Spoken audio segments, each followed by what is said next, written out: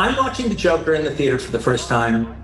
I'm liking the movie well enough. I'm, I'm liking it. Then it gets to the talk show scene, and you feel the entire atmosphere in the theater change. The thing that's profound is this Robert De Niro's talk show character. He's not a movie villain. He's not doesn't deserve to die. He's just an asshole. Yet, while the audience in the movie theater is watching the Joker, they wanted to kill Robert De Niro. That is subversion on a massive level. They got the audience to think like a lunatic and to want something that they would never and they will and they will lie about it. They will say, no, I didn't, and they're liars. They did.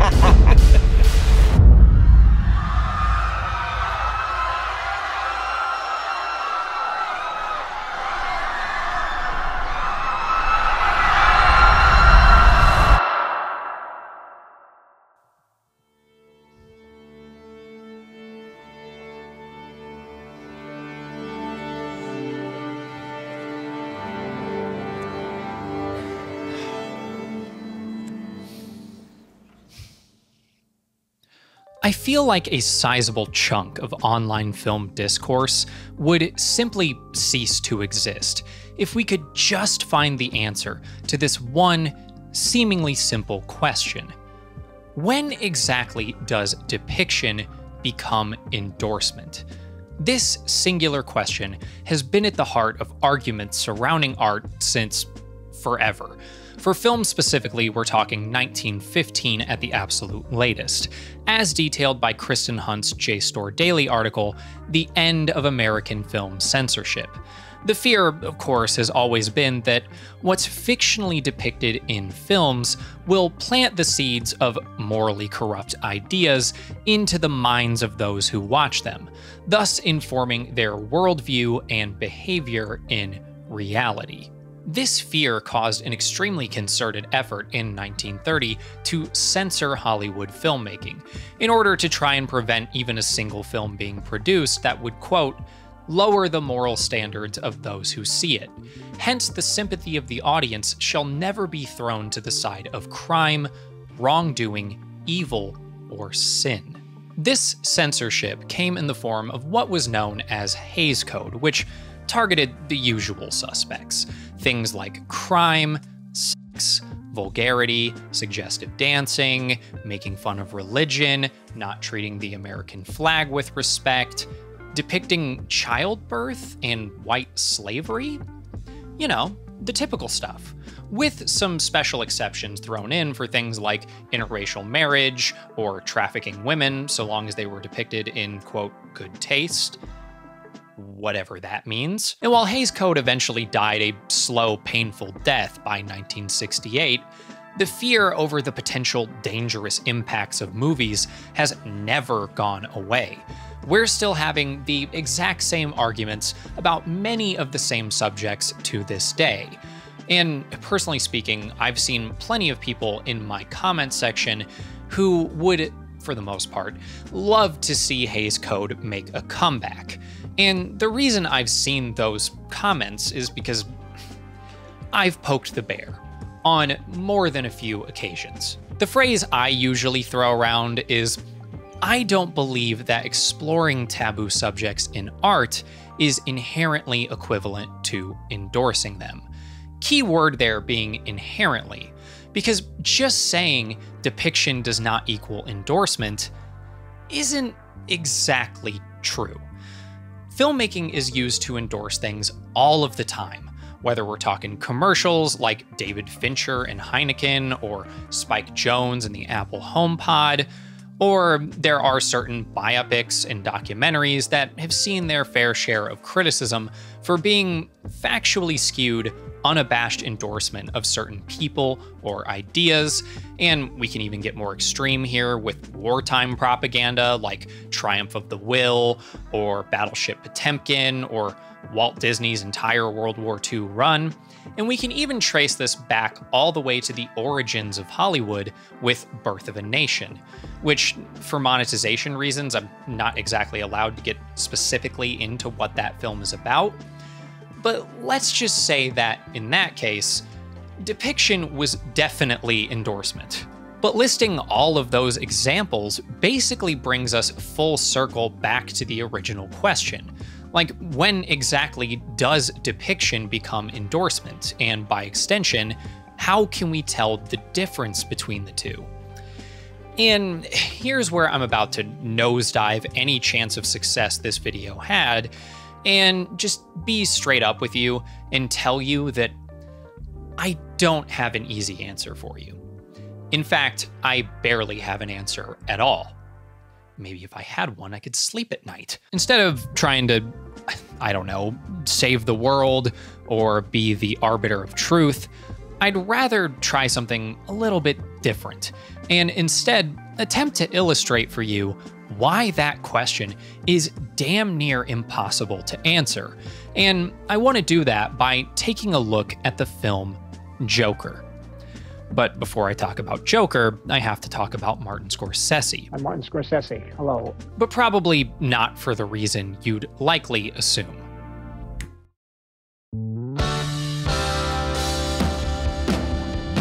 The most common criticism of Joker is that it's simply a ripoff of Martin Scorsese films like Taxi Driver or The King of Comedy. And while I think that's kind of true, it's not the reason why I want to talk about Scorsese today. I'm Martin Scorsese. The reason I want to talk about Marty Am I allowed to call him Marty? Uh, screw it. The, the reason I want to talk about Marty is because I feel like his career and filmmaking philosophy will both provide a solid foundation for what we will be exploring in this video. First off, when it comes to depiction, it's important to note that out of Scorsese's 26 narrative feature films, 19 of them are rated R, and that's very much on purpose. We're talking about people getting turned to Swiss cheese. We're talking 500 swear words in a single film. We're talking enough white stuff to kill a horse and unflinching looks at violence and abuse. I could go on and on. Basically, from the beginning of his career, Scorsese set out to be provocative. Sometimes my father would say, we'd talk about a film, and then with his brothers or aunts and uncles, and somebody would say, well, they can't do that in a movie. Oh, they can't. No, they can't show that or they can't do that. But I was, as a child, I was wondering why not? Why can't we tell the stories they're not supposed to tell? But unlike many other provocateurs, Scorsese provokes not for attention, but with intention. Scorsese typically makes films that challenge the audience to not only exploratively contend with the fictional world he presents to them, one that's often a reflection of reality, but he also asks the audience to contend with themselves.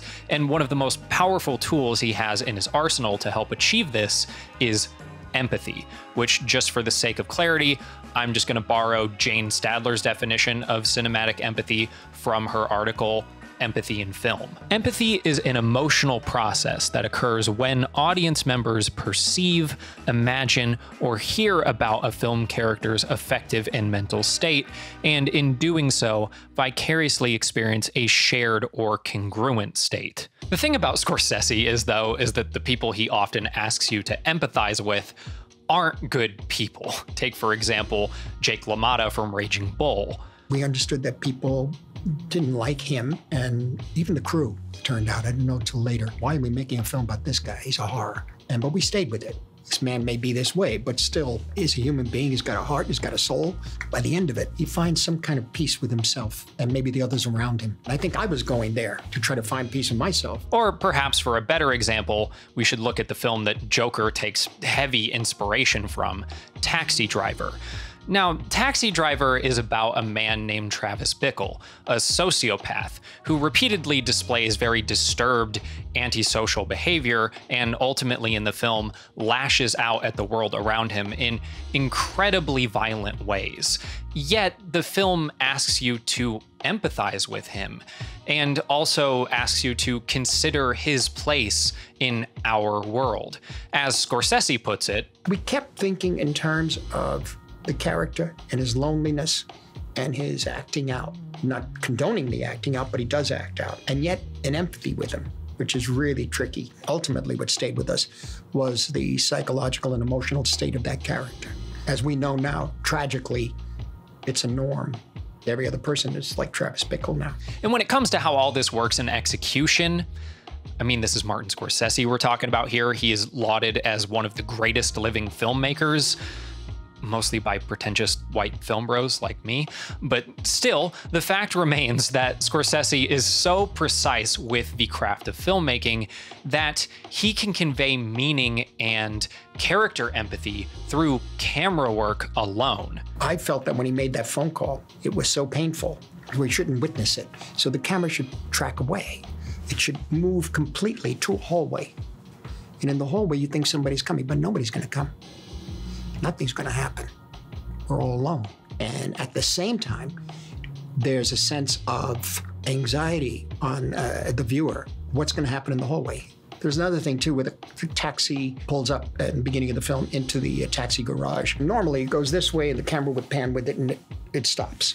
Well, as it came in, I went the other way, and as we rested, the car came in and stopped. Every shot, as much as possible, was uh, designed to be slightly disconcerting, but ultimately ultimately satisfying. That being said, though, all the intention, exploration, and empathy that he layers into his films can actually be a bit of a detriment in the context of the depiction versus endorsement debate because it leaves his films wide open for interpretation. When you're watching a Scorsese film, unless you have director's commentary turned on, you're not always going to have Scorsese in your ear guiding you through the film and telling you how to feel about everything.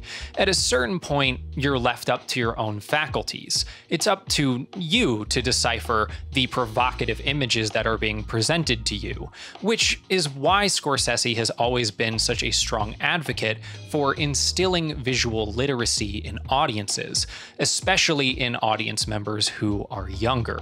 You need to know how ideas and emotions are expressed through a visual form. The grammar is panning left and right, tracking in or out, intercutting a certain way, the use of a close-up as opposed to a medium shot. What is a medium shot? What is a long shot? And the different kinds of lighting, and how you use all these elements to, to make an emotional and psychological point to an audience. Film, the image can be so strong, not only for good, for good use, but also for bad use. Look at World War II.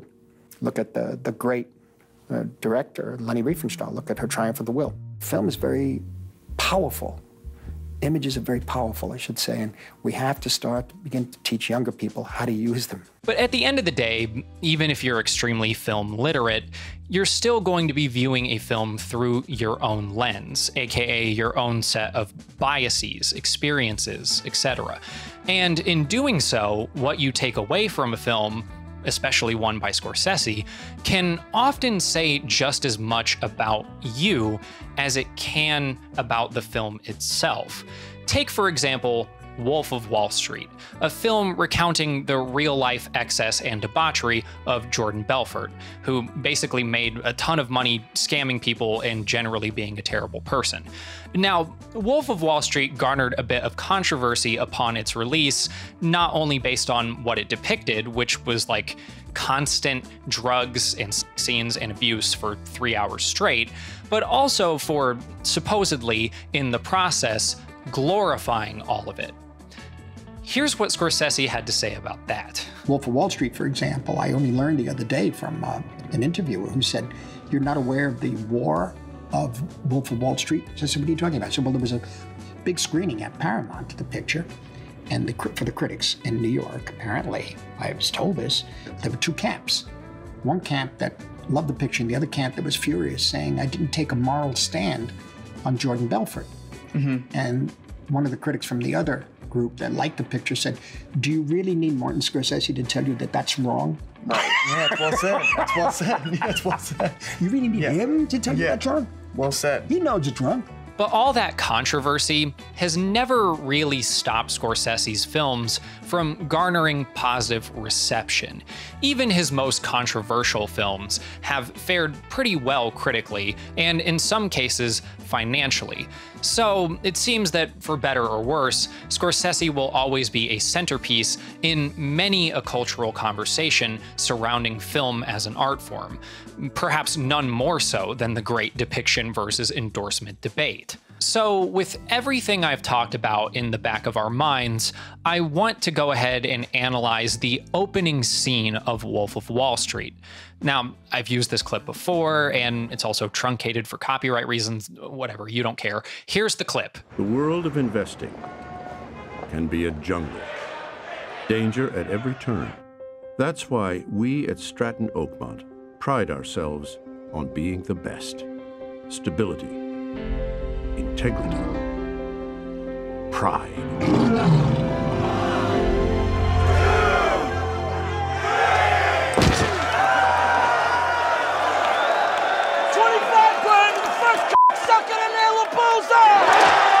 Now, in that clip, what we saw depicted was footage of Wall Street and an American flag, um, also the brass bull, and of course, um, you know, other strong animals like a bear, and ultimately a lion walking through the halls of a brokerage firm all accompanied by uplifting strings and piano, as words like integrity and pride are narrated on top of it all. All of it is displayed as zoomed out or cropped in, depending on how you want to see it, leaving plenty of black edges around the screen.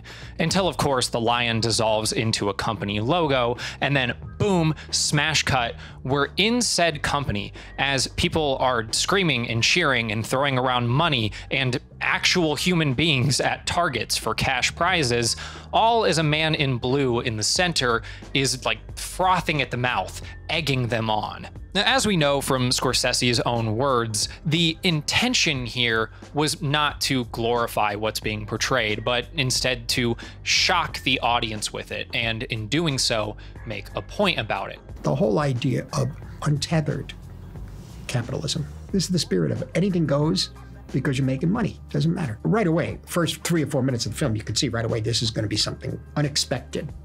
Uh, like every other shot, something shocking going on in a way, or supposedly shocking. Some of your films, people are punished for their sins, and in Wolf of Wall Street, they are celebrated. Oh no, they become. I mean, like in a sense, uh, you know, uh, uh, saying that it, it uh, politically, the country they they elected him.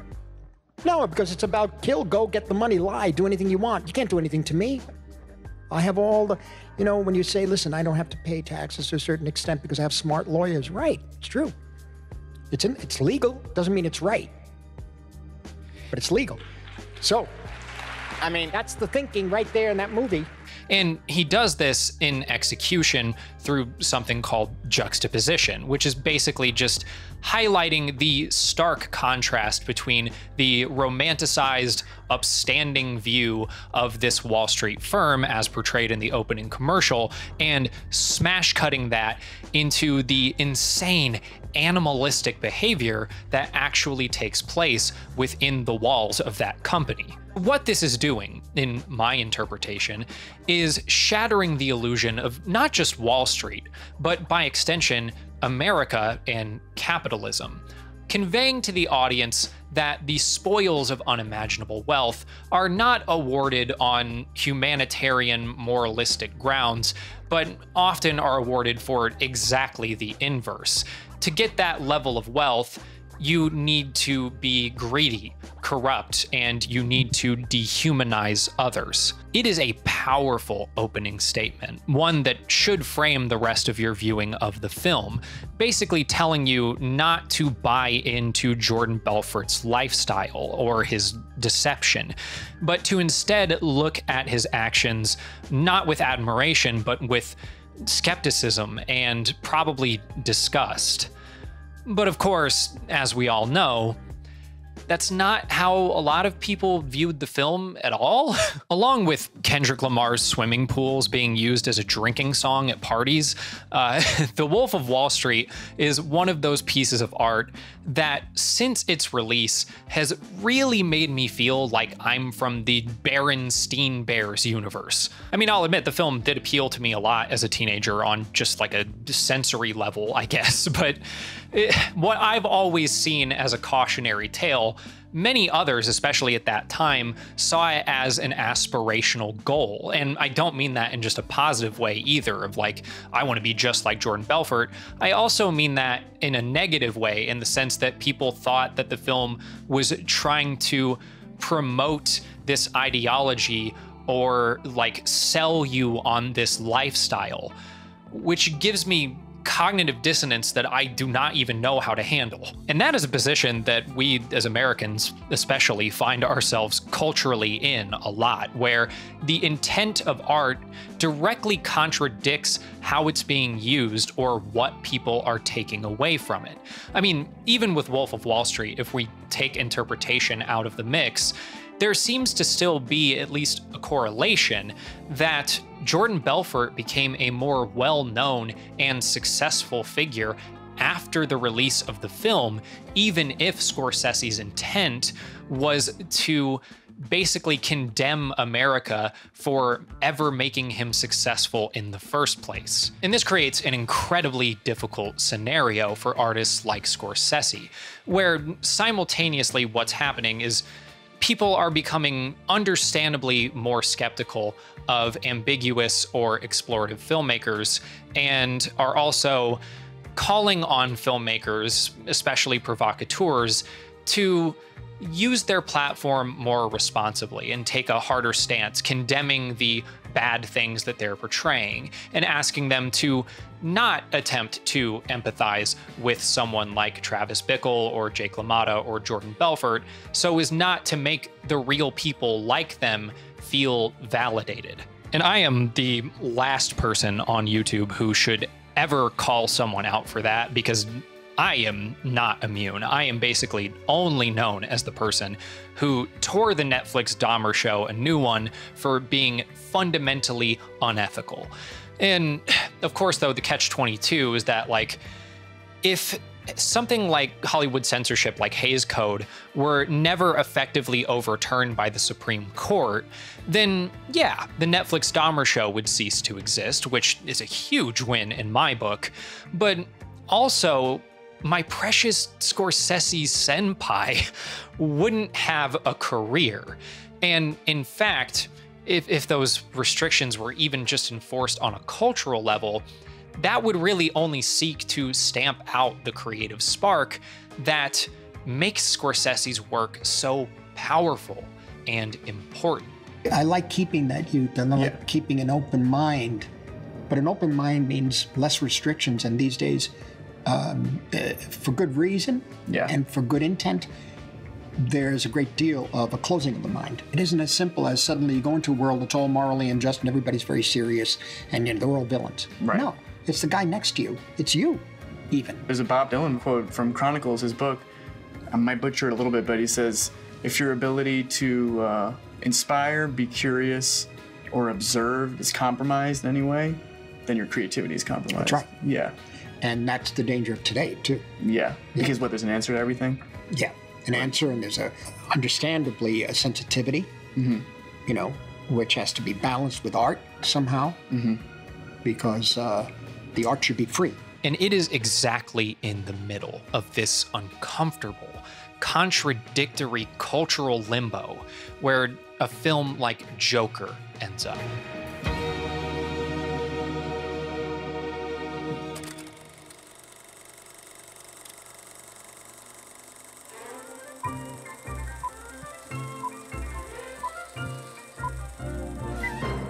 Joker is a film about a man named Arthur Fleck, a working class clown for hire with dreams of hitting it big in stand up comedy, who lives with and cares for his physically slash mentally ill mother. Nothing in life can go right for poor old Arthur Fleck. He's beaten and robbed in the street, he is denied access to his medication and therapy after social services funding is cut, he loses his job and finds out he was adopted and abused, and that his entire relationship with the woman of his dreams was nothing more than a psychotic delusion. And to add insult to injury, he's publicly mocked by his hero, television comedian Murray Franklin. But over the course of his misfortunes, he finds a new calling in life. Murder. He kills three rich men on a subway car and inadvertently becomes a political symbol for the working class people of Gotham City. He also kills his abusive mother, as well as the man who got him fired, and in one last act of vengeance, Murray Franklin on live television. He is also indirectly responsible for the death of Thomas Wayne, the wealthiest man in Gotham, who may or may not have been Arthur's biological deadbeat dad. Arthur is arrested for his crimes and is being driven to jail, but in the ensuing riots, is freed by people in the street. Arthur proudly stands atop the wreckage of the police car, finally living his dream of basking in the glory of an adoring crowd. He still ends up in an asylum, but seemingly as a hero to the people. The end. All right, good night, sweetie. I love you. Sleep tight. Don't let the bed bugs bite. Mwah. Okay, so how are we feeling?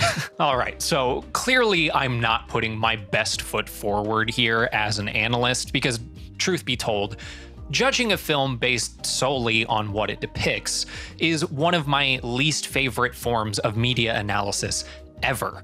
And here's why. If you only look at Joker in the most literal way possible based on what it depicts alone, it seems like a pretty open and shut case that depiction is equal to endorsement. Not only because Arthur is handsomely rewarded with praise for his actions, but because those actions are seemingly justified by his misfortunes. It seems on the surface that the film is telling you to not only feel bad for Arthur, but that violent retribution is a viable pathway to success. But it lacks something major, and that's context and nuance and credibility. What this method of analysis attempts to do is bypass, or in some cases, encourage its audience to actively ignore all the other processes we have that help us individually come to our own value judgment of a film. In this case, whether or not we think it's endorsing what it's depicting. And keep in mind, this isn't a linear process either. It's all of these ideas feeding into each other. It's more of a spectrum, I guess. Like, we're not talking about this or this. We're talking about this. The reason this method of analysis is so popular and frequently used is because just drawing a singular line from one end of the analytical spectrum right down to the other requires much less of everyone involved, and often in doing so, leaves everyone feeling as if it's more true, because the truth is always simple and easy to understand. Right. But I have to believe, for my own sanity more than anything, that generally speaking, people are smarter than that. And that pretty much anyone could see that simply recounting what a film depicts has about as much analytical depth as reciting the plot section of the film's Wikipedia article, and that the context of how something is depicted can drastically impact how something is engaged with or perceived. And in fact, we actually have some scientific evidence that tangibly, observably proves this within the realm of movies. In an article published in 2014 titled Cry for Her or Cry with Her, context dependent dissociation of two modes of cinematic empathy reflected in network cohesion dynamics, a team of researchers listed on screen here used fMRI scans of the brain to observe how people empathized with characters in two similar scenes one from the film Stepmom and the other from the film Sophie's Choice. The clip from Stepmom shows a mother informing her two children that she has contracted a likely terminal illness, whereas the clip from Sophie's Choice displays a mother having to choose which one of her children's lives to spare and which one to unalive in Minecraft. Basically, what happened is they had the participants watch the two scenes, and as they watched, the researchers observed the different regions of their brains that are commonly associated with two different types of empathy. One called embodied simulation, which basically just means sharing in a character's affective or mental state from like a first person perspective, and theory of mind, which is more of a third person perspective where a character's mental state is like it's determined by essentially projecting beliefs or desires onto the character, if that makes sense. And fascinatingly, what they found was that these two modes of empathy can play against each other and even override one another, depending on the context of the scene being presented, which they hypothesized has something to do with the logistical differences between the two scenes. Because while they're both thematically similar in showing a separation of mother from child, in one, death is presented as an unchangeable fact, whereas in the other, it's presented as a choice. But the great irony of this study is that they presented the clips out of context, which, you know, who's to say how the participants might have felt about each scene had they watched each film in their entirety. But of course, that would be pretty impractical for a study like that unless you were able to find people willing to be strapped to a chair with a brain scanning machine on their head for four hours, it, like that meme of the monkey doom scrolling Twitter. Except you couldn't give the participants the crab rangoon or the Adderall or the drum and bass music because those would all really interfere with the test results. What, what the f am I talking about? The point I was trying to make somewhere in all of that was that the test provides empirical evidence for how important context is in our mental processing of what's being depicted. If I were to just show you the intro to Joker of him getting beaten and robbed in the street, it would probably be pretty easy to feel bad for Arthur. But if I immediately followed that up with one of the heinous acts of violence he commits, that would probably throw a wrench in the works. And this only gets more and more complicated as you start to learn that films communicate ideas through well more than just plot. Even if I were to provide for you a very clinical, comprehensive review of every single event in Joker, if I didn't then take the time to account for how all those moments work together as part of a broader cinematic language, then what I would be doing, as my out of context clip of Tarantino at the beginning of the video states, is effectively robbing Joker of any of its power. And in effect, I would also, in my opinion, nullify any argument that I would then make about the film's ability to persuade its audience to glorify or empathize with someone like Arthur Fleck. I'm sorry that this section was so in the grand scheme of things, like brief and uneventful. It seems like it should have been more important given the big question surrounding this whole video, but it's kind of the problem with this level of analysis is that it just it provides no room for interesting discussion or exploration at all. It's extremely surface level. So I'm just going to move on uh, to the next section, which is like, why were any of these events depicted in the first place?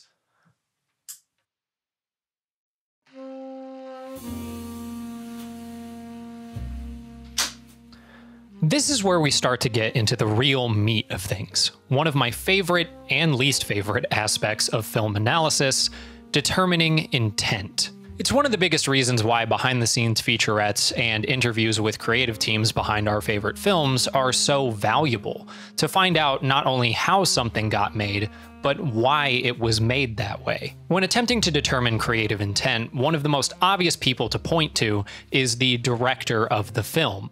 When somebody has a question about what a film means, that's usually who they go to for answers. Joker is co written and directed by Todd Phillips, who did a ton of press before, during, and after the film's release, and it's all pretty illuminating there pretty much wasn't a single question I could throw at the film that the man himself hasn't already answered, much to his displeasure. Uh, yeah, he pointed out to me that, um, yeah, I mean, he was okay. I mean, he read the script, but no, I was going to say something, but I, I, it tends to be that anything you say on this movie gets turned into something, so then I go, just be careful.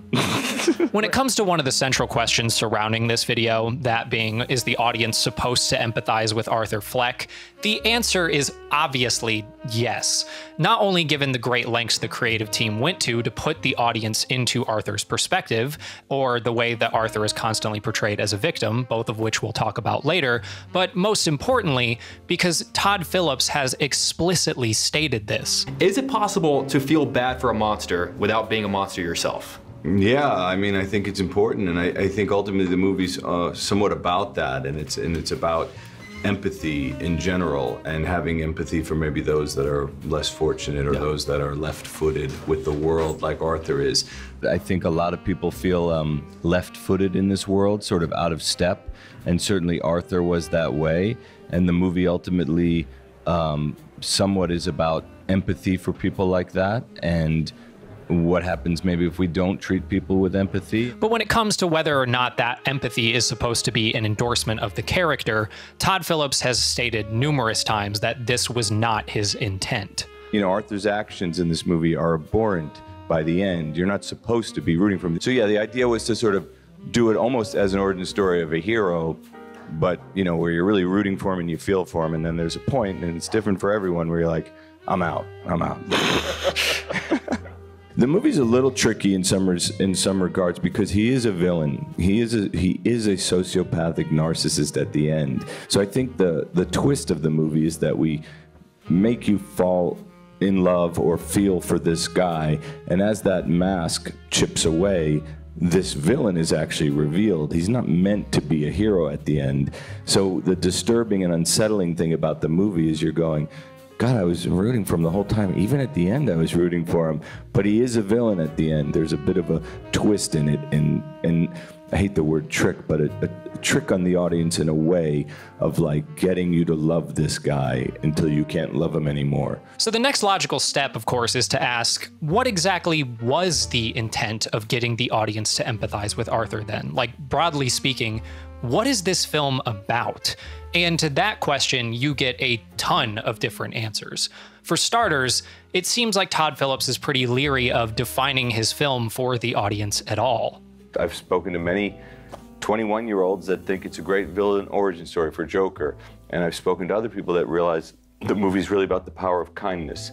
And that's something that we wanted you to feel. But it's a hard question to answer because you kind of want people to have their own experience with the movie. I mean, there's a lot going on in the movie, as you know, you saw it, and uh, I don't like to I don't like to define it too much, but but there's a lot you can take away from it.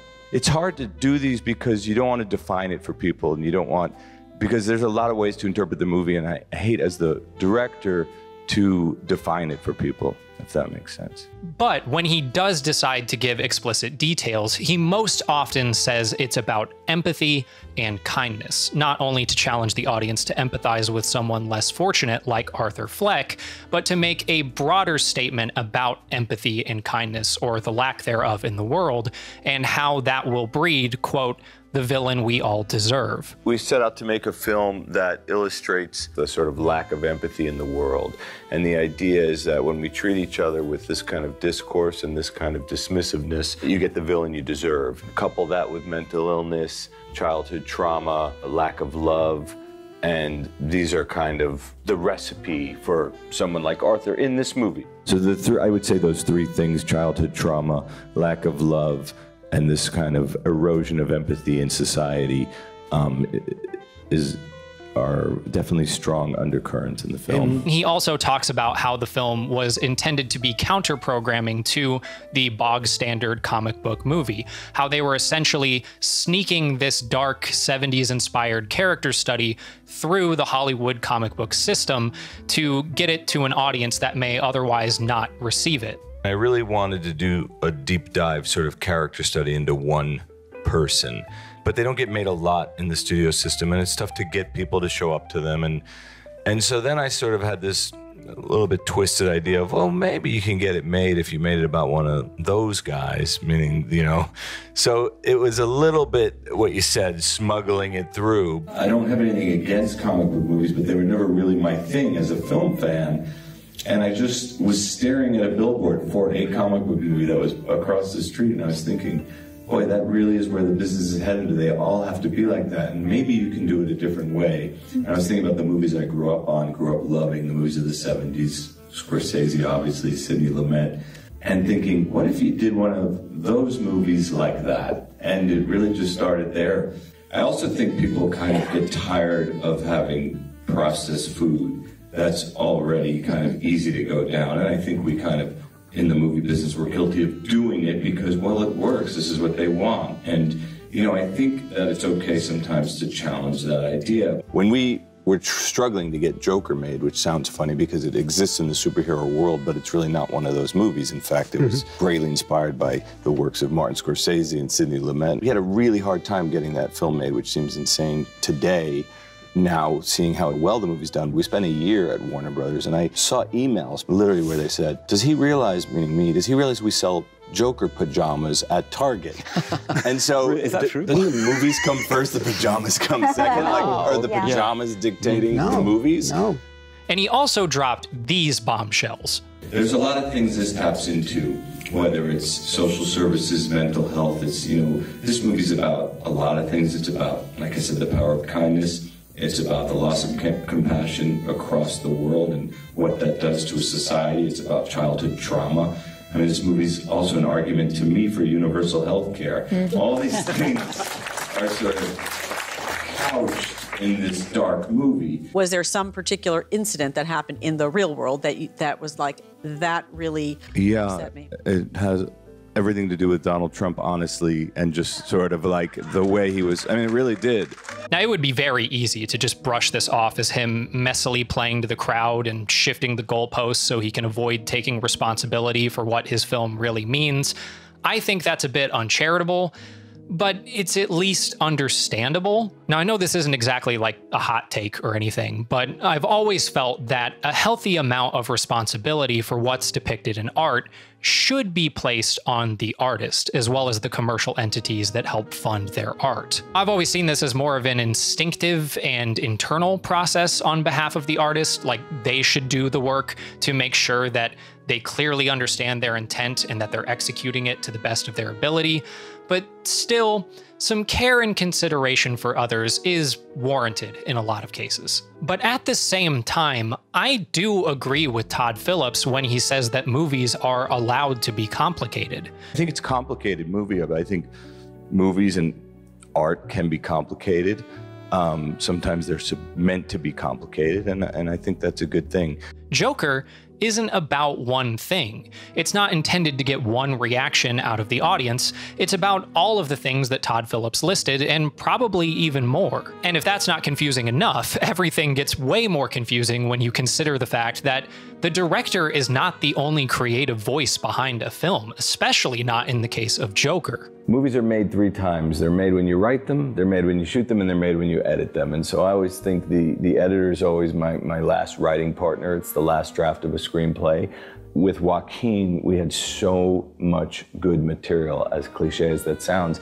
And there's pretty much 14 different versions of Joker as a movie, meaning like if you made a left here instead of a right, it would be that movie. And as far as the composer, Hildur, Hildur Gunnlaugsdóttir. Hildur's music, you know, here's the thing. I think it's the heartbeat of the movie. I think it's all of what Arthur's, you know, internal, it's all the music in Arthur's head, basically. It's all Arthur's heavy shoes music in the beginning, beginning and Joker's operatic, you know, lunacy at the end. While Todd Phillips does describe Joker as a deliberate film, he also goes to great lengths to highlight how explorative and collaborative the process was, especially with lead actor Joaquin Phoenix.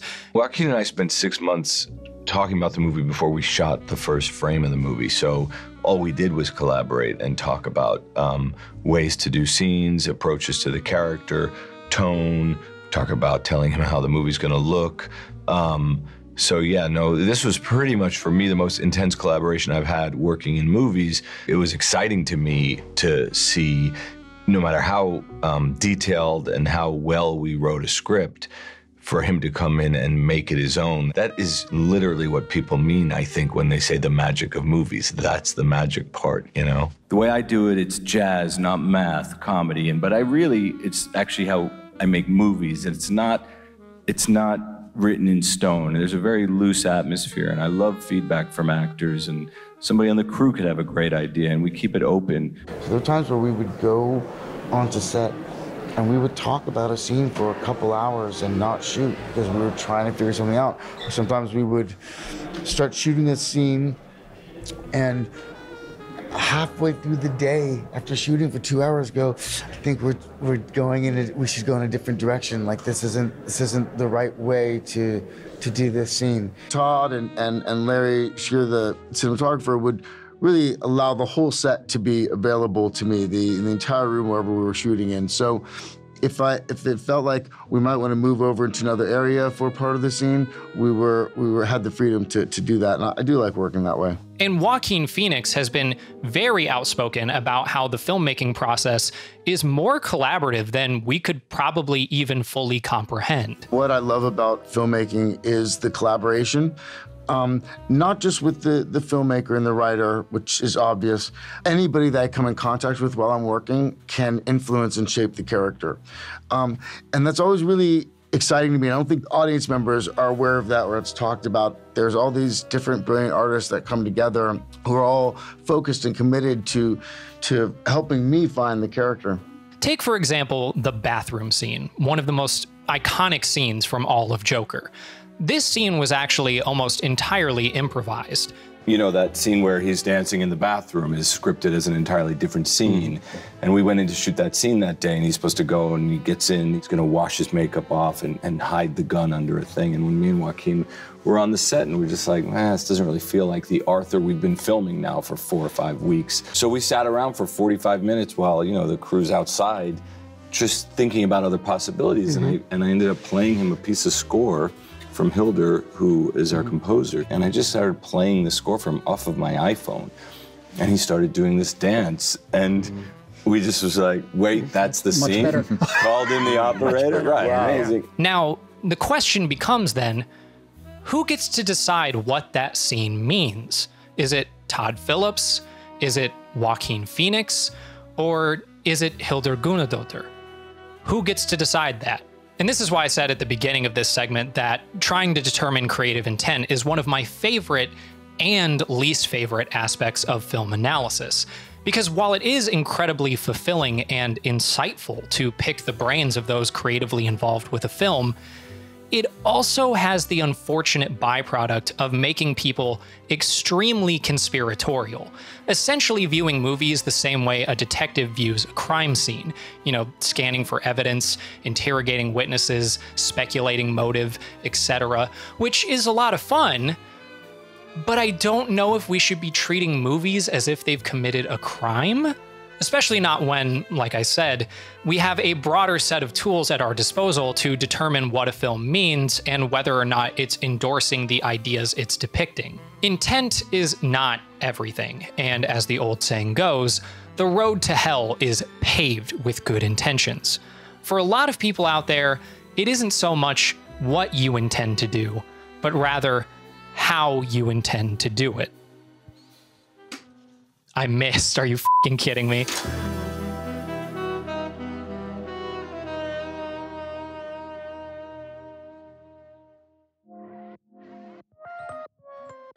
So I said earlier that Joker goes to great lengths, creatively speaking, to put you into Arthur Fleck's mind.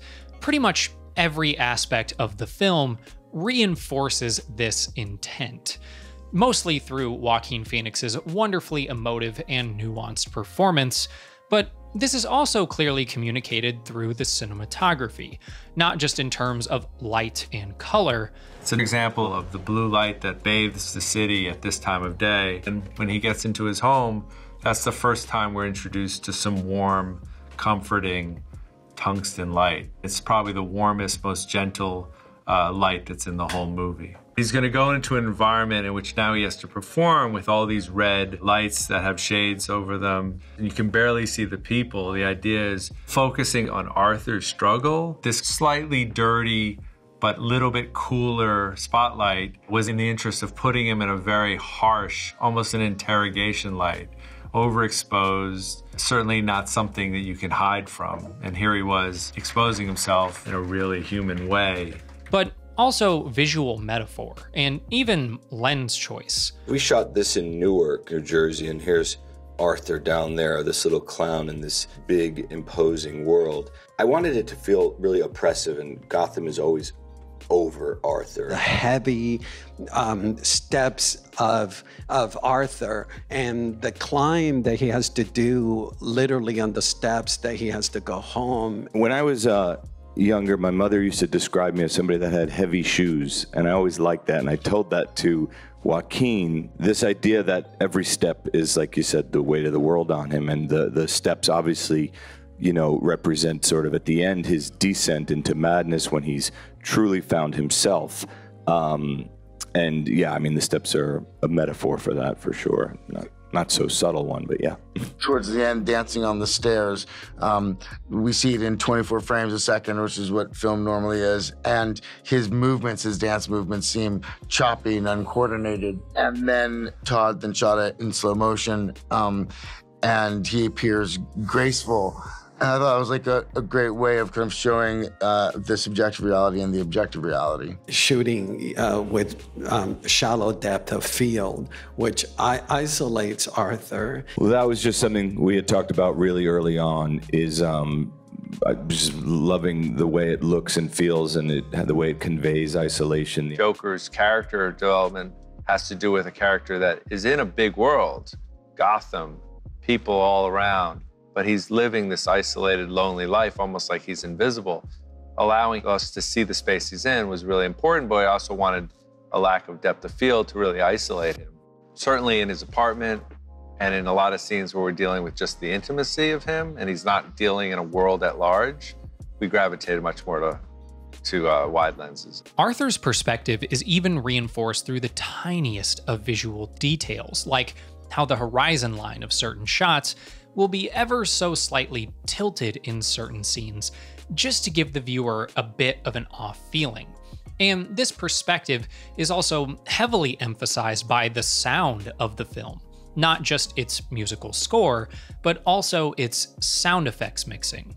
Talk to me about that first few minutes and what's happening and how you guys worked with director Todd Phillips to set the tone of the film. There isn't like a super clear point of focus right. um, as it kind of leads in. But once we get to sort of the camera landing on arthur we needed to figure out a way to sort of allow your focus to shift onto him. And what is he doing? And you know kind of like delve into there a little bit of what's going on in this guy's head you yeah. know? And you know mm-hmm. right away from that first sequence like spending time in Arthur Fleck's head is not going to be a pleasant experience, yeah. right? Yeah, yeah. And that was one of Todd's directives from the beginning was, I want you to feel like you're there with Arthur. So we did tons of work and tried to make the audience feel that they were always sitting in the middle of this with Arthur. The scene where, uh, at, towards the end of the movie, where Arthur is waiting behind the curtain to go out on the Murray show.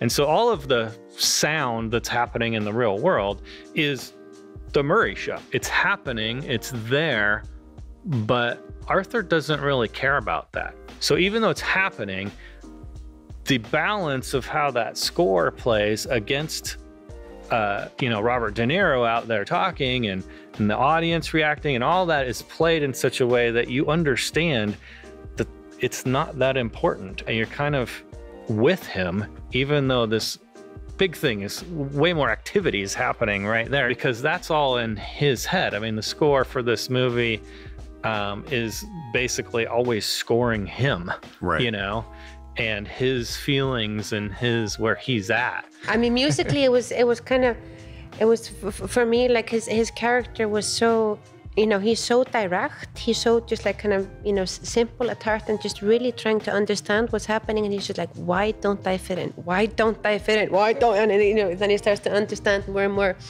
about what's happened to him. And I, I think all of that required like so much simplicity, and so all the all the melodies are, are just like almost have no harmony. when all of the elements of him, you know, where he's understood all of his elements that are like, you know, coming together and his anger and frustration has kind of just taken over and he's become this this multi-dimensional character, which which he, he didn't really start out to be. And then I was just like, okay, and then harmonies, you know?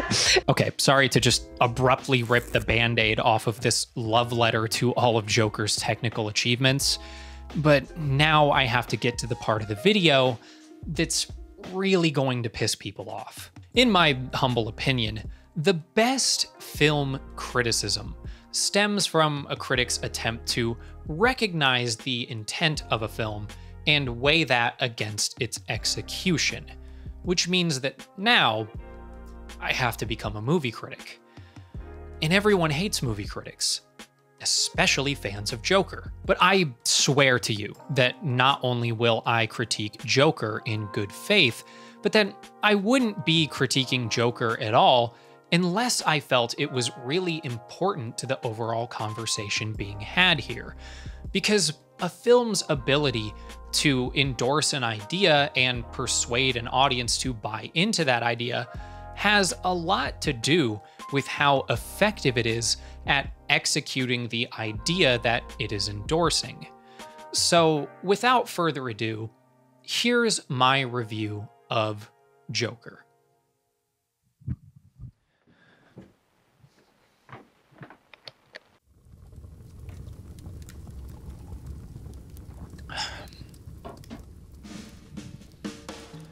If you look at the top 50 highest grossing films of all time in the US, what you will find is a fairly expected mix of family and or IP driven films, over 50% of which are now owned by Disney.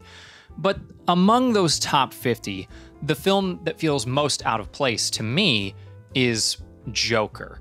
Because while it is a massive IP driven film, the same as any Marvel or Star Wars film, it takes an intentionally different approach. If there's anything comic book movies face heavy criticism for in general, it's how formulaic and homogenized they feel. They're all very safe.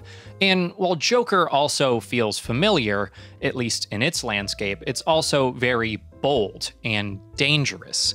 It dares to ask the question what if a comic book movie were a real movie. In all seriousness, though, and I am being serious here despite how ridiculous this is going to sound, I think Joker is one of the most challenging films we have in that entire top 50. But I don't mean that fully as a compliment. Because in the grand scheme of cinema, there are obviously a lot more thought provoking and challenging films out there, some of which Joker takes heavy inspiration from.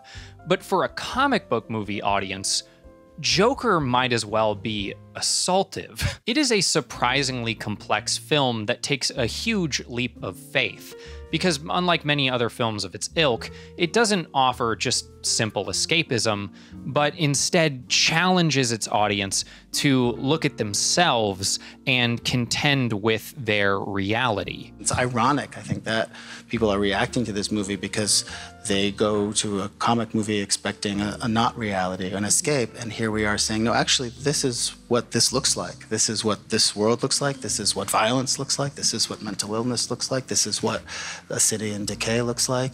Look at it, feel it, and, mm-hmm. and, and, today in a looks- way, uh, what's hard about this movie is what's great about this movie. This is mostly achieved through an unsurprisingly powerhouse Oscar winning performance by Joaquin Phoenix, but it's also facilitated through an incredibly moving and also Oscar winning score by Hildur Guðnadóttir, as well as immaculately crafted cinematography by DP Lawrence Sher, and a gentle but steady directorial hand from Todd Phillips. And when all of these different elements perfectly coalesce through various moments of the film, it feels profound and impactful, giving its audience an unflinching look at things like mental illness, childhood trauma, urban decay, and class struggle, as well as the horrific yet realistic violence that is bred from those things. It dares you to feel something for someone who, in any other context, especially in a different comic book movie, would simply be a villain, deemed unworthy of empathy. It attempts through every moment to put you into the perspective of someone who is extremely mentally unwell, and it just makes you sit there in it, despite how uncomfortable and unnerving it can be. It also leaves quite a bit up to interpretation. It poses all sorts of difficult questions, but leaves the burden of answering them mostly on you, which, again, for a film of its kind, is extremely ambitious. Bringing something that at all resembles Taxi Driver to a billion dollar comic book audience, I just can't stress enough how much I respect that. And even taken on its own merit, I think Joker stands as a pretty good film overall.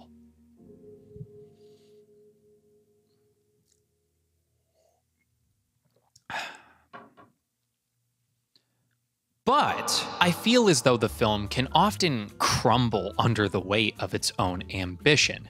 My problem with Joker is that it's a film that wants to ask very hard hitting questions and make all sorts of revelatory observations about the world around us today, but at the same time, almost down to a fundamental level, in execution, it can't help but constantly remind its audience that it is indeed fictional. Take, for example, the many ham fisted ways the film portrays how unfortunate Arthur's life is, sometimes literally beating you over the head with it. There is nothing, not one thing that can go right in this man's life. Everything that happens to him is comically awful, which, on one hand, is brilliant because it allows the film to blur the line between comedy and tragedy. That was interesting to Scott and I, is just sort of exploring this thing is is my life a comedy or is it a tragedy? How adults see me as a tragedy, how kids see me as a comedy, but really um, it's both for, for Arthur and for ultimately Joker. You know, the movie is a study of tragedy and comedy, and that scene is sort of a combination one. It kind of goes through like four major emotions where you feel for Arthur, and then he commits this horrible, vile act, and then you're in fear for Gary, and then there's this sort of comedy of Gary trying to get out, and it's love at the end. This is sort of the, the craziest scene in the movie. What we're saying there with the water coming out of the flower, flower, is he's still Joker. He's still there to make people laugh. He's still seeing comedy in this moment of pain. Showing how, in the exact same light, Arthur's life can either be viewed as harrowing or hilarious in a comedy of errors sort of way. But on the other hand, what this also does is it makes Arthur's life feel contrived. It frames Arthur's life in a very blunt and simplistic way that feels like hitting the same sad note over and over and over. And it doesn't help at all that the film's goals of realism and contemplation are often hampered by the fact that it has to be a comic book movie at all.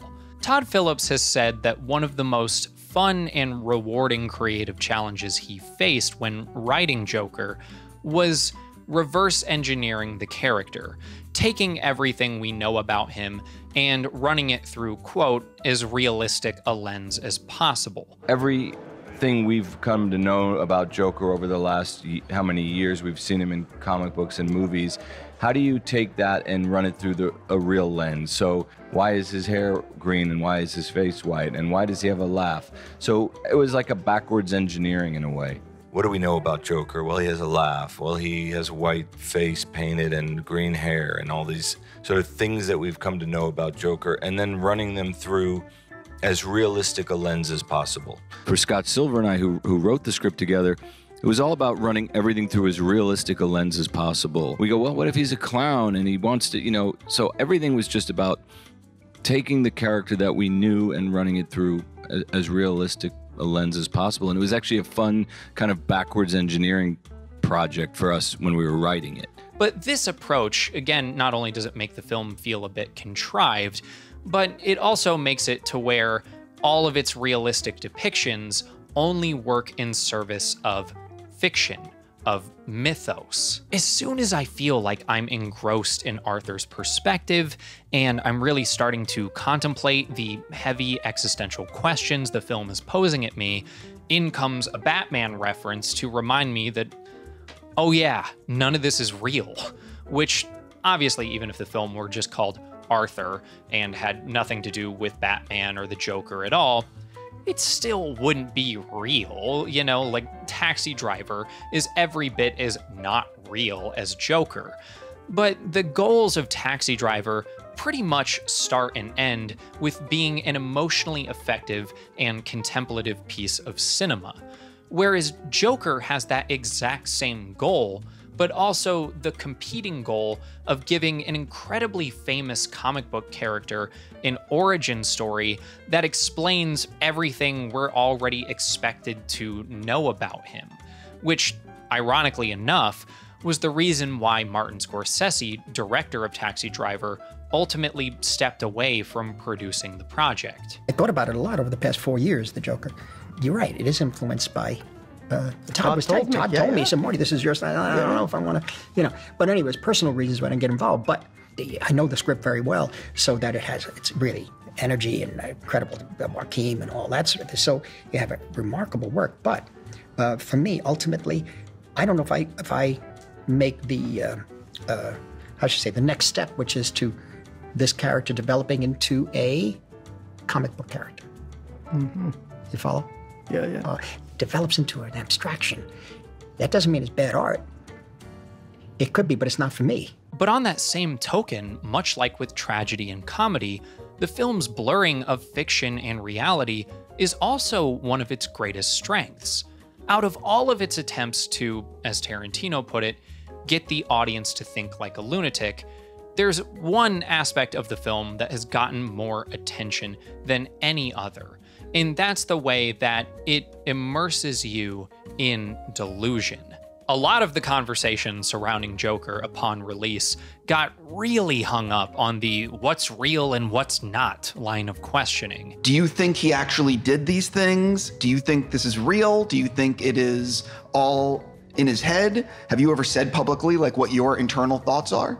You know, I think sometimes you feel it's real, and sometimes you feel it's it's fiction, but sometimes it, you know, it, it doesn't really even. I think it doesn't even matter. It, that that doesn't matter, really. okay. Do you have a take on it? Or do you like Yeah, I do have a take. I actually I believe it happened. There are some people that watch this movie and think none of it happened. When he's in that white room at the end and he's saying, she's saying, What's so funny? It's a joke. You wouldn't get it. That he actually imagined the whole movie, and that's not even, you know, Joker. And somebody said that to me, a friend of mine, a filmmaker who I showed it to. And I said, Oh, that's interesting too. What, what are we taking from it? What really happened and what, what really happened. I mean, I've heard people, including myself, that believe that the last scene, he's everything that led up to it is it is in his own world, in his own mind. It, Yeah. It's and please do not answer. No, I but wouldn't it is answer. totally. I was just about to, too. No. I mean, it's a liberating thing to write a movie based on an unreliable narrator, and it's doubly liberating when it's it's Joker. So it's almost like doubly unreliable. You don't really know. There are a lot of aspects where you have to question as an audience, is that real or is that in the head of the character that we're learning about? Not to be mm, immodest, but what I do love about the movie is the questions you have at the end, and that I've shown the movie to many different people, friends of mine, when we were editing, and they all had different theories, like like you're saying. I kind of like that. I think it's it's it's a, one of the fun things about filmmaking and making a movie like this. Particularly, you're making a movie called Joker. It's he's already an unreliable narrator because he's Joker. As Todd Phillips states, Joker is an unreliable narrator, thus, his story gives you a fair amount of reasonable doubt when it comes to damn near anything depicted in it.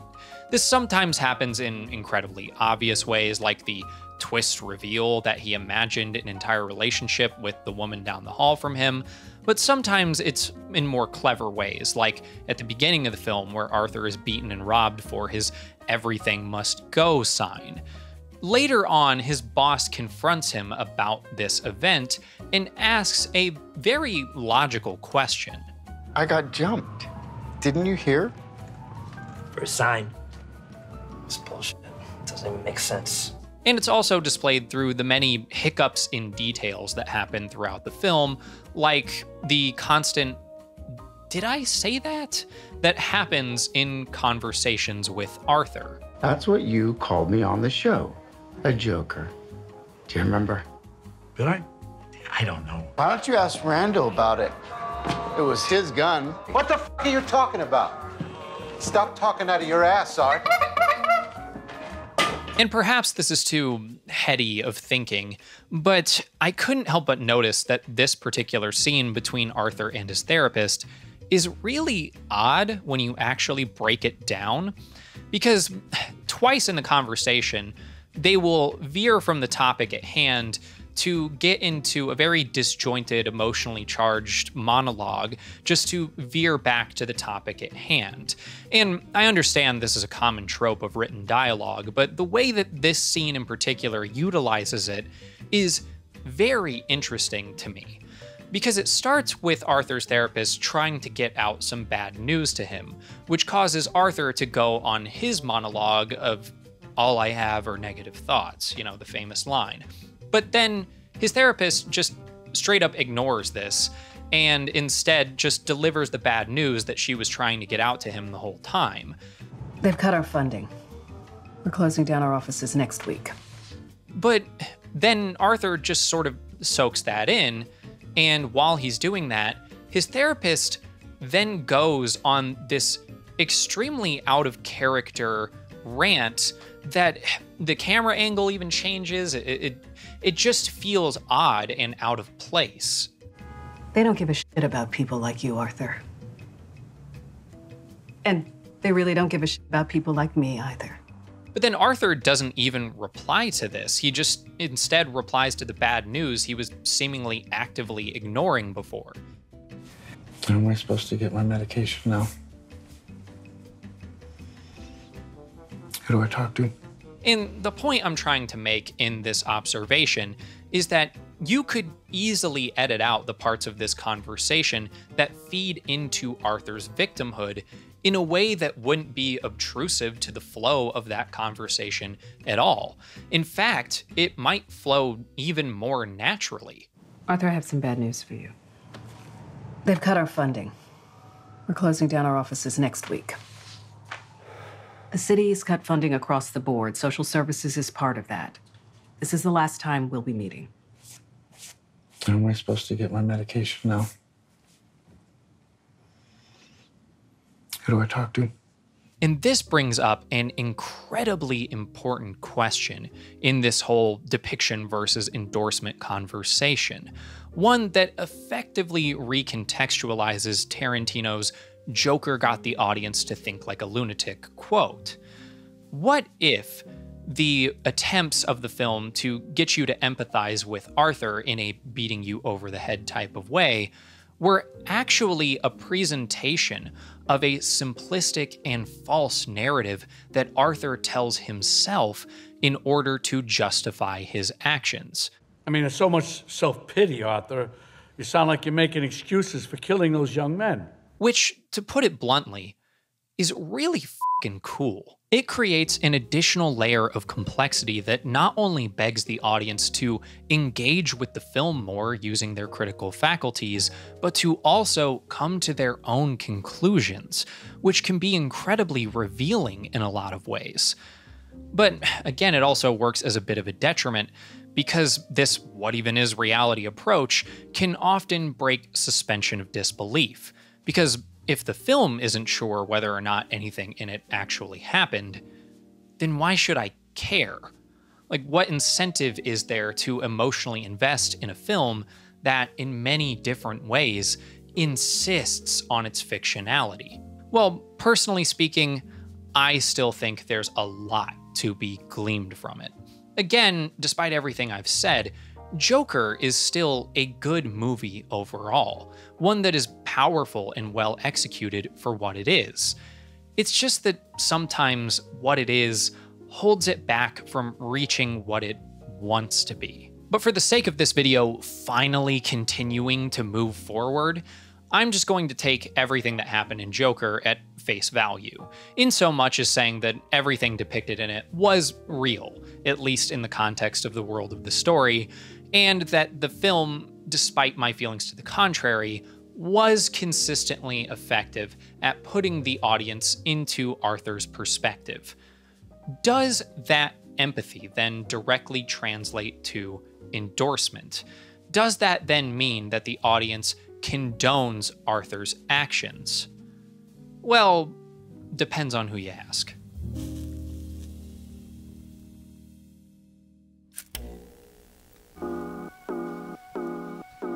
One of the most common missteps made in this whole debate is treating the audience like a singular entity, as some sort of monolith of thought rather than a collection of individuals with their own beliefs, values, experiences, and cognitive processes that they bring with them when they enter the theater. You'd think, with a strong grasp of visual literacy and a wealth of information about Joker's artistic intent and technical execution available to us, that we'd all be able to unanimously agree on what the film means. Uh, wait a minute, no, you wouldn't. I'd never sit here and try to argue to you that every single interpretation of an artistic work is equally valid, but I do at least think that they are all possible, which leads to a lot of conflict between various members of the audience over different aspects of the film. Earlier in this video, I made a pretty prescriptive statement that the intent of Joker is to get you to empathize with Arthur. And while I said that based on the explicitly stated intent of those creatively involved, and also based on the way they implemented that intent into the technical execution, here's what I didn't account for, and that's that empathy is not the same experience for every individual person. I mean, even the study I cited in the depiction section of this video made a clear delineation between theory of mind and embodied simulation, or what we've come to understand from a more broad psychological perspective as cognitive and affective empathy. And Professor Berys Gaut makes a similar argument within the realm of the philosophy of film for these two different views being the assimilation view and the identification view of cinema. It, it's a lot of technical jargon. I'm sorry, that's a lot of this section of the video. Uh, but basically, to make a long story short, I put a whole bag of jelly beans up my. And no, I'm kidding. Okay, sorry. Uh, getting back on track. To make a long story short, basically what it comes down to is experiences of empathy not only being different from person to person, but also differing in certain contexts. Like, one audience member may be viewing the characters in a film as an outside observer, thinking to themselves things like, what would I do in this situation? Sort of projecting their own beliefs and values onto these characters and making judgments that way. Whereas another audience member may be attempting to put themselves directly into the shoes of a character or multiple characters, attempting to think what they think and feel what they feel while another audience member might pass back and forth between these two different states, depending on the film, or maybe even depending on the scene within a film. In Werner Wirth and Holger Schramm's literature review, Media and Emotions, they attempt to guide the reader through the different theories of how emotions are processed, especially in response to media, or at least the different theories available in 2005 when it was published. And one of the things I found most fascinating about it was this idea that what we think of as concrete emotions, what you might call gut reactions or instincts, are also very much subject to our own cognitive processes. Things like the context of the situation that the feeling arises from, as well as our own individual behavioral tendencies and even our own memories of similar events or feelings. And later in the same review, they go on to summarize Dolph Zillmann's affective disposition theory, which proposes something similar and was specifically made to be applied to narrative plots like films. And basically, what it says is that protagonists in films are subject to spectators' moral judgment and are either approved or disapproved. That audiences are observers of a media event, and if our own observations lead to empathic feelings toward likable protagonists whose actions are approved, then we expect a very specific continuation or ending of the film. AKA, while the audience in the movie theater is watching the Joker, they want him to kill Robert De Niro. And to pivot to a different source, there's a really great piece of anecdotal observational research in the introduction to Ill Effects, the media violence debate, that illustrates this pretty beautifully. So basically, this researcher is at a shelter for the unhoused and is basically observing a group of unhoused people who are watching the movie Die Hard, which, if you don't know, it's basically just about this one guy versus this whole team of terrorists in this giant building. And uh, at first, the unhoused people are elated to see Han, villain Hans Gruber and his team destroy this giant corporate building. But then they sort of start to warm up to the protagonist, John McClane, because it's just this one lone wolf guy against this whole team of terrorists. But then, the second that John McClane starts working with law enforcement, this group of people gets so pissed off that they just turn the movie off. and it's a really funny story, but I think it proves a valuable point, and that's that you bring as much of yourself to a film as it brings to you.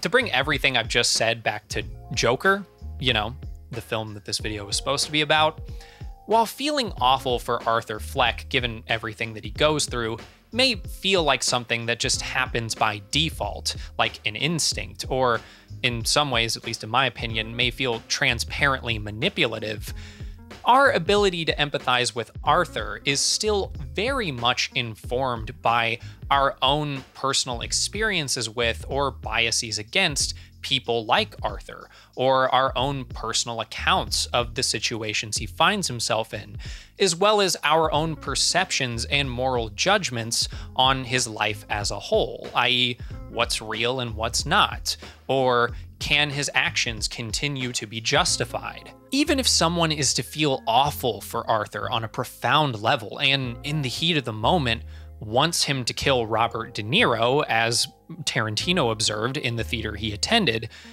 that feeling may be fleeting and may be met with another feeling like shame or disgust upon immediate reflection. And that's where we get into the concept of reappraisal, which Wirth and Schramm define as the point where the aforementioned appraisal processes are reevaluated because the framing conditions, such as the situation or the possibilities of coping, have changed. Basically, think of this scene from Me and Earl and the Dying Girl. Never commit to an interaction that won't be casual or mellow. Your test was today. Ugh, Tess, I've been there. Rachel's been diagnosed with leukemia. They just found out. Your test was today. Ugh, Tess, I've been there. Oh, God. Reappraisal is something that Joker utilizes a lot, especially in its portrayals of violence. The violence in the film is often senseless, but at least from Arthur's perspective, justified for one reason or another. And the film asks you to reconcile those two conflicting ideas, to reappraise how you feel about Arthur with each new passing scene, asking yourself things like, how does the level of brutality in Arthur's actions affect their ability to be justified? Does him being abused or delusional absolve him of accountability? Or does it only make him more dangerous? At what point do I stop rooting for this man? And as Todd Phillips states, that point is different for everyone. You love him and root for him until you can't root for him any longer. Now that point where you gotta stop, where you stop rooting for him, is different for different people. You may have rooted for him till the very end, and that's fine. I did too. but some people, there's a there's definitely a line where they turn, and it's just different for everybody. But the concept of reappraisal can even be applied to Joker as a whole. Because the experience of a film doesn't live and die by the first viewing, it doesn't end as soon as the credits roll. How you feel about a film and what you think it means can change wildly with time as you gain more knowledge or life experience, as you self reflect, or even when you do something as simple as just watch the film for a second time. In 2019, walking out of the theater having just seen Joker, I never would have given it the amount of credit that I did in the review you saw in this video. I was part of the crowd that was easily writing it off as a Scorsese ripoff. For the most part, I, I thought it was okay.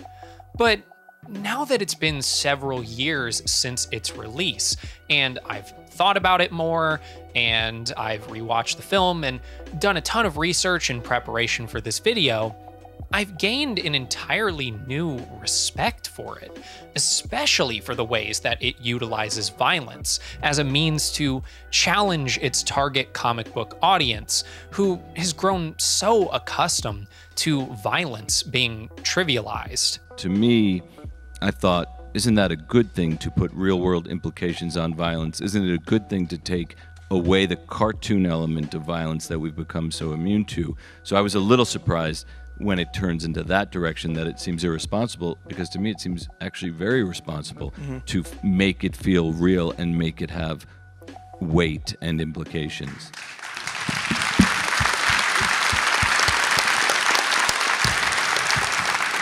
Again, I'm going to reference the introduction to Ill Effects by Martin Barker and Julian Petley, where they summarize the 1997 research by Annette Hill on the consumers of violent media and how these viewers build what they call portfolios of interpretation, which basically just shows the ways in which viewers of violent media become experienced and knowledgeable in their understanding of on screen violence and how to properly contextualize it. They also highlight David Morrison's Defining Violence from 1999, which shows that the context of violence, which is then usually judged on aesthetic or moral grounds, greatly impacts an audience member's overall perceived level of violence in a piece of media. In both of these highlighted studies that I've just talked about, not only clearly illustrate that viewers of violent media are still able to separate fiction from reality, but that they also, while watching, still have their own agency and are able to draw their own conclusions. But I guess the, the moral panic, the, the fear over depiction and endorsement is usually pointed at the less discerning audience member, like a child. And that's where the research of Hodge and Tripp, as well as David Buckingham, come in, also summarized in Ill Effects, which display that children are also able to clearly delineate fiction from reality, albeit not as keenly as an adult in that they are also able to view and process films with a similar level of literacy to any other film viewer. But perhaps the most biting quote in the entire introduction, the one that hit me the hardest, was from Greg Philo. And it said this It would be wrong to see people as being totally dependent on such messages, as if they were simply empty vessels which are being filled up by news at 10. To accept and believe what is seen on television is as much a cultural act as the rejection of it. Both acceptance and rejection are conditioned by our beliefs, history, and experience. And I promise that this is the last thing I'm going to blatantly borrow from Ill Effects, but there was this really excellent essay later on in the book titled the worrying influence of media effects studies, which highlights the many issues with how media effects studies are conducted. Issues that I think can be more broadly applied to the depiction endorsement discourse. Things such as tackling social problems backwards by rushing to media being to blame instead of looking at other probably more pertinent influences, or assuming superiority to the masses and treating children as inferior, or the thinly veiled conservative ideology at the root of it all, and of course, a general lack of understanding of how films even work. But what good is any of that stuff from ill effects when so much about the world and the way that we consume media and information has fundamentally changed since 2001, the year the book was published? Can we really accurately say all the same things about a generation of people raised on the internet? And generationally, I'm right between millennial and Gen Z, zillennial, or whatever the hell it's called. And one of the most common observations of both groups is how we constantly infantilize ourselves. We were both raised on a steady diet of media, information, and rampant capitalism, which leads us to strongly identify with what we consume. And this leads to the broader observation that essentially, I guess people think that because of technological dependence, that we're just blank slates with no real agency at all, that we just take in whatever we consume with no critical thought to speak of. So, all that being said, I, I do want to take a moment and just speak personally here and say that I empathize with Arthur Fleck. And I do so very much in an embodied first person type of way. You know, oh, he's he's literally me. But I don't condone his actions because of that. That's exactly why I find Joker so challenging and interesting is because it makes me wrestle with that cognitive dissonance more than pretty much any other film of its kind would ever ask of me. So, if it is observably possible for someone as average and chronically online as me to both feel for Arthur and condemn his actions, then why exactly were so many people worried about the potential dangerous impacts the movie might have? Ladies and gentlemen of Chicago, please welcome to the stage legendary comedian Joker.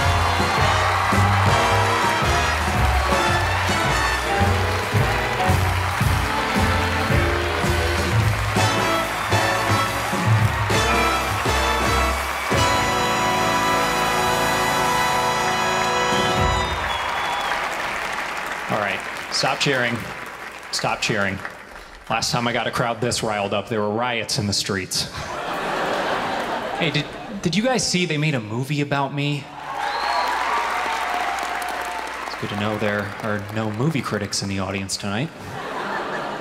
Seriously, though, for as much as you guys loved it, uh, seeing the mixed critical response, it, it really kind of bummed me out, you know? But then I thought of something that I learned from my hero, Murray Franklin. God rest his soul. You know, you can tell a few bad jokes at the beginning. You know, no one's going to remember that. But you have to make sure that your last one knocks them dead.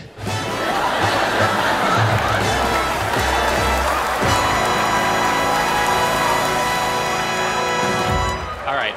Okay. I've tortured you long enough. Let's get this thing over with, shall we? So, Joker met a fairly mixed critical reception upon release, but it was nominated for 11 Oscars, winning two of them, and the audience in general seemed to really love it. It's been really interesting to see how different groups of people have taken to the film, especially now that it's been several years since its release.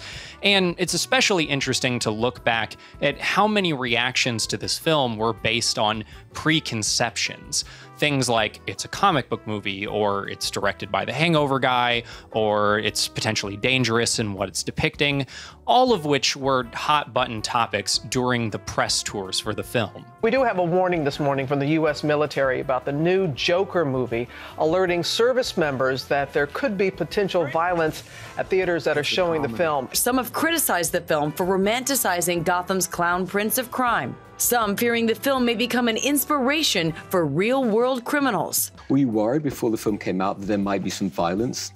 No, because I just didn't subscribe to that, quite frankly, bullshit thing that was happening in the media where they just pick a movie every so often and declare it, it mm-hmm. means something that it doesn't. I suspect it's also because it's very close to the bone in the sense that Joaquin gives such a powerful performance that it feels quite real. And there's something a little scary about that at a time when we have a proliferation of guns in our society and, Right. and, and lots of sort of random violence. I do agree and understand that we are treating the violence in a very realistic way. We felt like it's actually a very responsible way if you portray violence in a realistic way and show how disgusting and ugly it can be. If you really watch the movie, you go, "Why- why would this movie incite violence? And, and they go, well, because you're making a movie about a type of person. You're getting us to sympathize with a type of person, or you're shining a spotlight on a type of person that doesn't deserve to be shined a spotlight on. And I, I would go, it's almost as ridiculous as like, you know, climate change deniers, you know, people who deny climate science. Isn't this sort of the same thing? Like, are we just gonna pretend that these type of people don't exist? Are we gonna pretend that we haven't broken um, a social contract with a certain uh, group of people in this country and that there are ramifications of it? Is it really so bad to say we're failing as a human experiment and maybe we should shine a spotlight on this? It, it, to me, it was, it was so surprising that, again, there was so much pearl clutching about the movie from people that you wouldn't expect it from. how this kind of emerged between you and Scott as you're writing this, um, as uh, maybe even an unconscious reflection of the times we're in. Is that it's that part that I that I'm particularly interested in because we think of you as a comedy director, you know. Okay, right. But I mean, no, it wasn't an unconscious reflection. It was it was what we set out to start when we started writing it. I- I've never been a fan of, of, of pigeonholing people, and I, I hate when it was always when it's been done to me. Of like, well, why does the guy from The Hangover get to do this? They have conventional wisdom in their brain, more than you would think. Oh no, no, I, I agree. what is what is it supposed to be? That's right. And you're supposed to be this over here Mhm. and this over here. I think And that goes broke even the rules. Yes, we broke the rules. I think that even goes for me as a director. The blowback that I noticed was how did this guy get to do this? Not not pull it off, but how did he even get to do this? As if movies get made by Warner Brothers coming and hiring you to do it. That's not the way I've ever made a movie. Nobody asks asked us to do the film. But there's always like, why would they hire him to do? Why would they hire the Hangover guy to do this? It's like that's just not how it works. I didn't imagine the level of discourse that it sort of reached in the world. Honestly, the film is the statement, and it, it's great to talk about it, but it's much more helpful if you've seen it. You know, and and so much. There's been. It sounds insane, but there's there's been so much conversation around the movie by people that haven't seen the movie. I mean, we had think pieces being written about this movie, where people proudly wrote, "I haven't seen the movie. I don't need to see the movie. I'm not going to see the movie," and then they would write two pages about why the movie's bad. The problem with this film, what I didn't expect, was the discourse that happened before they saw the movie, and I found that to be a little bit too much. That level of criticism hampers creativity in a way. In the future, I'm not talking about my movie. I'll be fine, but it- even even the junior high school art teacher knows that's not the right approach to it. Do you know what I'm saying? What we've gone through on this picture, you know, with Joker was was pretty rough through the media. That the movie is, you know, made to inspire violence or to. Um, uh, all, all the things that really weren't in there for me and Joaquin when we were making the film, people come at it as a, as a target and start talking about, again, why it's dangerous. And really, when we go, we made a movie about childhood trauma and the loss of compassion and lack of love in a, in a person's life and what that might do. But everybody always wants to talk about the, the spark and not the powder. But the mm. film's really about the powder, what makes that happen, do you know? And I think it's safe to say at this point that Joker didn't cause any major catastrophe, but it also did resonate with specific audiences that I don't think it was supposed to. And, you know, even through its empathy and relatability, it probably wasn't taken quite as seriously as it wanted to be. Especially not if the amount of memes it spawned or anything to go by. It doesn't really seem like a broad consensus of Joker can be reached other than like, eh, it's pretty good. And uh, other than that, you know, the the pop culture explosion surrounding Joker may have died out, but the does depiction, especially empathetic depiction, equal endorsement line of questioning that surrounded the film upon its release does live on, just in the form of other flavors of the month. And the reason why that will never change, at least in my opinion, is because this line of questioning, the goal is almost never to be explorative like we have been during this video. It's more so to find not just an answer, but the answer, the one definitive, easy to understand truth at the root of everything. And this goal gives us all sorts of unreasonable expectations. Unreasonable expectations like films should only have one meaning that should be able to be derived from the most obvious aspects of said film. And that, you know, that meaning should be able to be clearly and succinctly communicated into a microphone or camera in an easily digestible piece of content and that you know we should just boil films down to you know a comic book movie or a Scorsese ripoff. That'll make Joker easier to understand. And we want to vilify people like Arthur Fleck because it's so much easier than contending with what the film is presenting to us, which is that we not only play a part in creating him, but that in many ways we reflect him, not just through funny memes, but in our everyday lives. And when that thought makes us uncomfortable, or something tragic happens in the world that slightly resembles what is depicted in the film, then we just want to point at that film or the person who made it and blame them for it. And while I do think that there are some seemingly simple things that we could apply systemically that would improve our everyday lives, things that Joker itself advocates for, like uh, addressing income inequality or providing universal health care. I don't think that is depiction equal to endorsement will ever have a simple, easy answer, because if it did, we would have stopped arguing about it hundreds, thousands of years ago. Or maybe. Or maybe I'm wrong. Maybe we just love arguing, you know? Maybe we just love it so much. We just love having the same arguments over and over and over, and it never gets old. And us YouTubers especially love it because not only can we capitalize on it through money, but through sweet, sweet attention. And if someone out there were to find the the definitive truth, the answer, then that dopamine gravy train would stop running entirely. And we wouldn't want that, would we? Speaking of getting mad for fun, uh, Todd Phillips did an interview with The Wrap where he said that he thinks outrage is a commodity and that it has been for some time. And he was especially shocked during the discourse surrounding Joker how easily the far left could sound like the far right when it suited their agenda. And while I normally loathe the enlightened centrist, kind of have to agree. Pointing fingers and boiling things down and being puritanical, th- those are all staunchly conservative mentalities, but they're ones that have unfortunately seeped their way through all different levels of the ideological spectrum, especially in people my age or younger for whatever reason.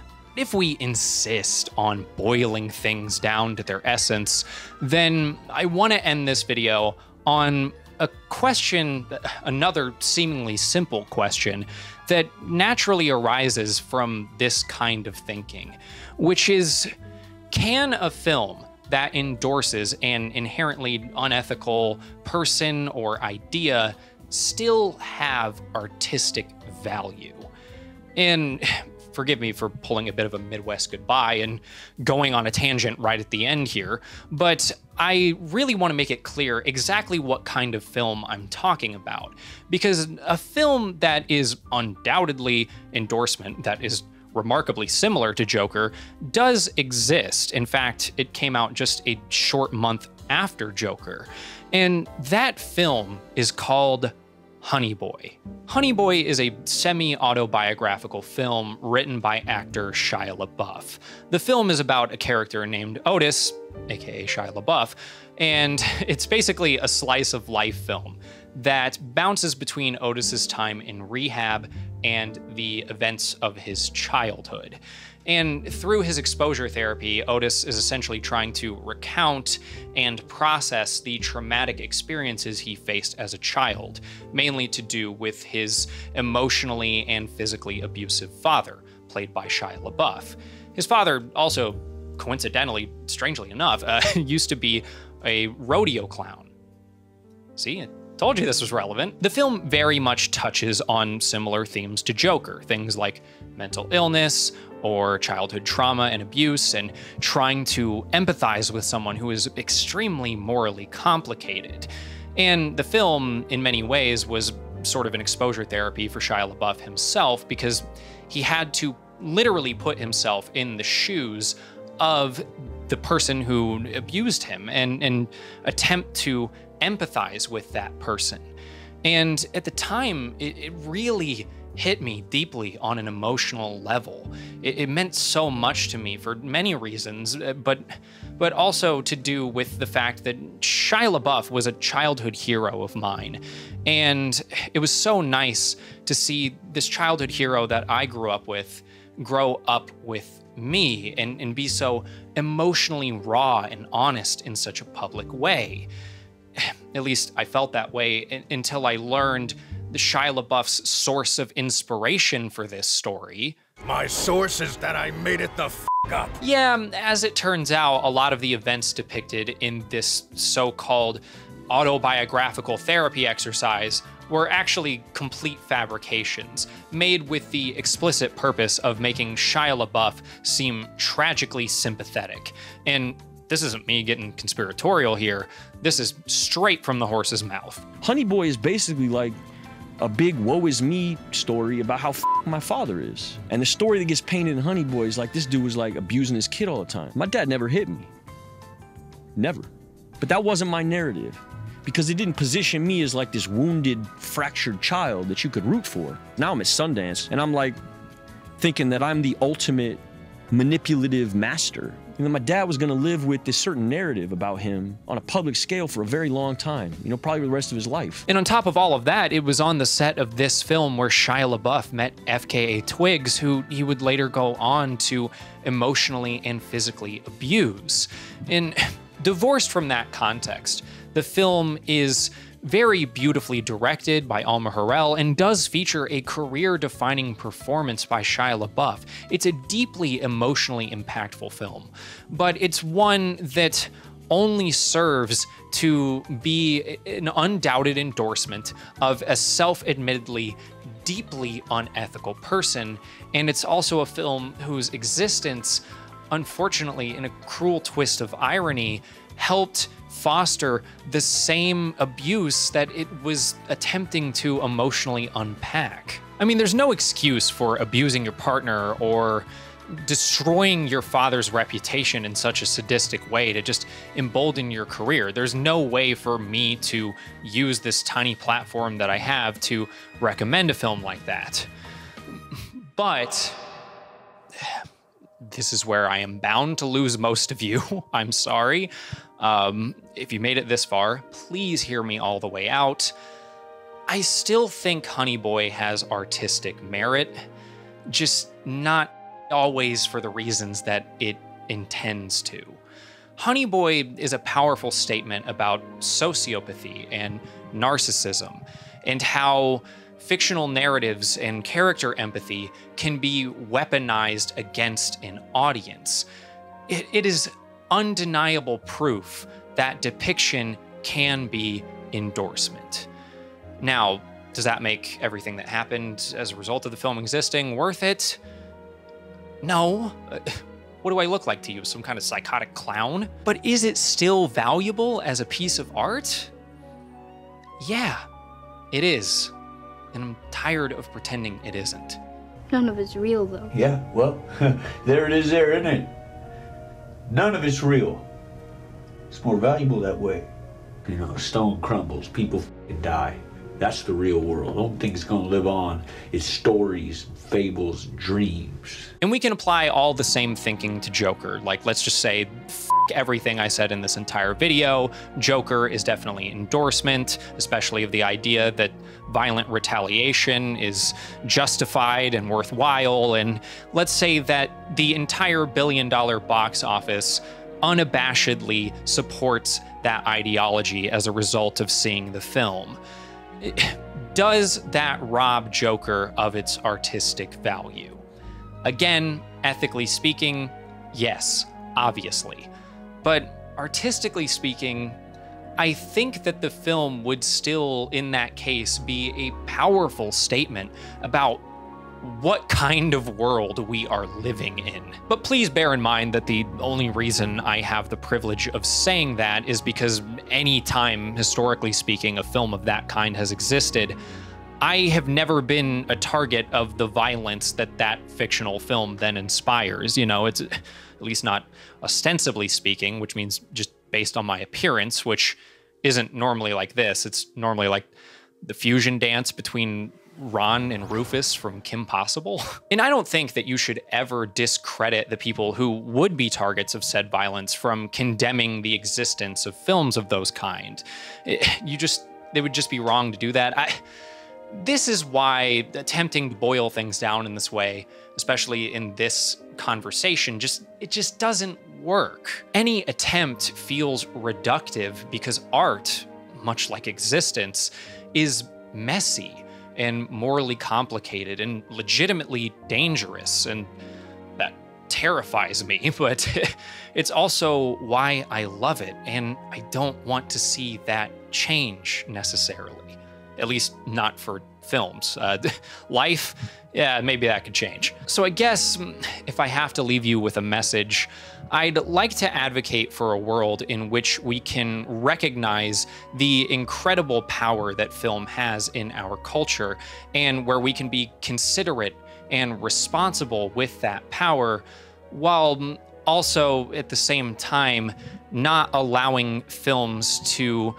impede our critical faculties or our ability to self actualize. Two things can be true at once because everything is defined by nuance. And until we learn to be okay with that, the discourse will live on in perpetuity. But hey, that's life.